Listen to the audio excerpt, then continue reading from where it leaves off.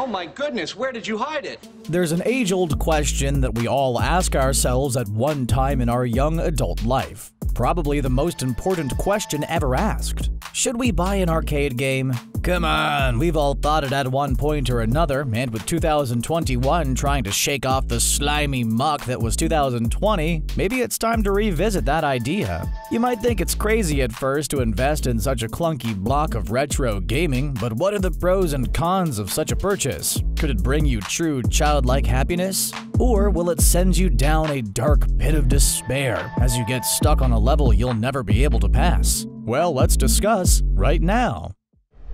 Look, I'm not going to lie to you. The world is an incredibly advanced place, technologically speaking. I mean, I can speak into my watch that connects to my Amazon account, and within a day, a drone can drop off a package on my front doorstep, all because I don't want to put on pants and go brave the apocalyptic outside world. It's kind of insane when you think about it. That technological advancement has definitely carried over to gaming too in recent years. Probably one of the only good things to come out of 2020 was the release of both the PS5 and the Xbox Series X, both of which are incredible looking and wield a truly impressive amount of processing power and nifty new features. I heard there's a limited edition PS5 that'll actually do your taxes for you and make you breakfast in bed every morning. But even though these new gaming systems offer some of the most stunning graphics ever seen and immerse you in storytelling that's so realistic it sometimes feels like you're watching a live action movie rather than playing a video game, who has time for all that? Like, excuse me for a second while I go check all my local retailers to see if any of the new consoles are available at the moment before spam bots flood the system and buy them all. And even if I could get through, you're telling me I have to find time to sit down and play a 400 plus hour game, not counting the installation time, and then try to work in playing that on a daily basis?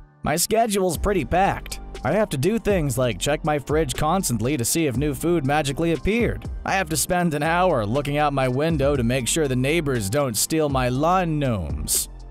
And I have to rewatch The Office for the 17th time. It's a busy life. So forget all those fancy gaming consoles. Who needs them, right? Think about buying a classic arcade game instead. Yeah, you know the ones. Remember when we could go out to eat at places and you'd go to a pizza joint or a bar to eat and while you wait, you see that classic Pac-Man sitting in the corner? And look at that. You have yourself an extra quarter in your pocket. So you play it? Remember that rush of excitement you felt? That thrill of the chase as you scarf down fruits and avoid spooky ghosts? Well, what if you could have that feeling all the time? 2021 doesn't look like it's going to magically fix every bad thing in 2020, which means going out and socializing might still not be a thing. So why not bring some of that entertainment right into your own home by buying a classic arcade game?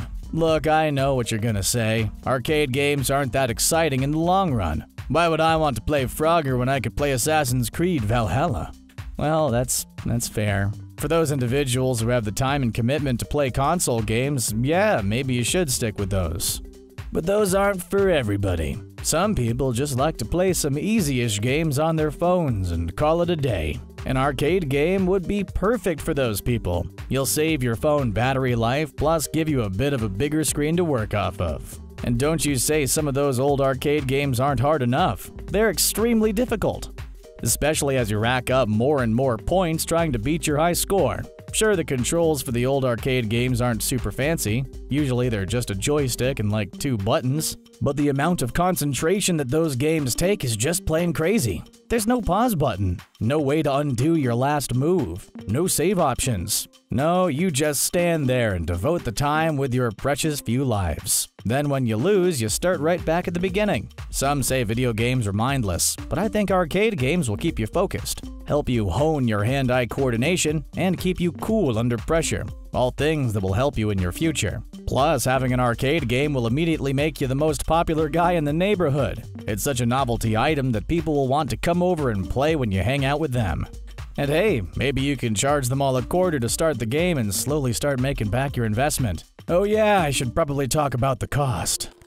Cost is going to be a big factor here, because these arcade games aren't cheap. Any of the classic ones will probably cost you close to a minimum of $3,000, and that's not a small amount. That's a good chunk of change. It's not something you can splurge on one Saturday afternoon. Plus, you have to take into consideration that these machines won't last forever. If it breaks down and you need a spare part for it, it'll probably cost you another arm and a leg to get it fixed. Like, you could easily see bajillionaires having a game room packed with arcade games, but for the everyday people who need to do things like, I don't know, pay for food and rent, yeah, that cost isn't going to be an easy one to swing. So, my advice if you do want an arcade game and are like many people who just don't have $3,000 burning a hole in your pocket, search out old bars and restaurants that are closing and try to buy their game off them for a deeply discounted price. Cost isn't the only reason why you shouldn't get an arcade gaming machine in 2021. You also have to think about the space it takes up. Arcade games are big and clunky. They're perfectly suited for bars and general arcades, but you try squeezing one of those into your living room. Not only will it take up a lot of space, it's not like arcade games match whatever style you have for your living room, unless of course you have one of the retro gaming vibes to your apartment or house. But who has that nowadays? And even though you may like the look and feel of an arcade game in your home, isn't that a little too old school? As I was saying before, we live in a technologically advanced age. You could play almost any of the classic arcade games on your phone for free, or even buy a much cheaper console that specifically has every single classic arcade game on it. With those options available, it becomes a question of are you buying the arcade game to play or just because you like the visual aesthetic of an old school machine. If you absolutely just want to play the game, there might be better options for you out there. Overall, it sounds like there are a lot of good and bad reasons to buy an arcade game machine in 2021. It might be a ton of fun, but also set you back quite a bit of money for something that's not ultimately worth it. But let's say they were cheaper. Say they were only like a few hundred bucks instead of 3000. Would that make the decision any easier? Right now, for me, it's the cost that's really holding me up. But that might not be the same for you. You might have a passionate love for arcade games and see the value of dropping whatever amount of cash to add to your collection or to spice things up at home. It's 2021 now. I'm not to judge you either way. If arcade games make you happy, then absolutely, you should save up and buy one. We've had a tough year, and instead of being hesitant about what we love, we should treat ourselves a little bit, don't you think? I think we deserve it. It's the Ms. Machine! Oh my god! We like to do these should you buy videos here at The Gamer, and one of our recent videos was all about whether you should buy a Wii or not. Well, the comments seemed pretty unanimous that yes, you should absolutely buy a Wii. Will these comments be the same? Let's find out.